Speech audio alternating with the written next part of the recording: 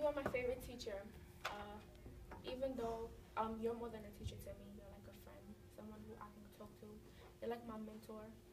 Um, even though I may not like the criticism you give me, even though I think the criticism you give me is wrong. Hold on.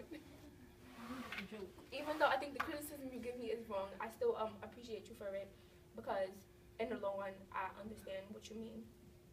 Um, you helped me train myself for. Um, because KIPP is a lot of work. Um, even though like now I'm not where I'm supposed to be, um, you still train me and I know what I have to do. It's just that I'm being lazy and I'm not doing it. Um, yeah, I just want to um, appreciate you and thank you for the criticism that you have given me. And like a mother figure to me. Um, you give me criticism and advice that my mother doesn't give me um, at times.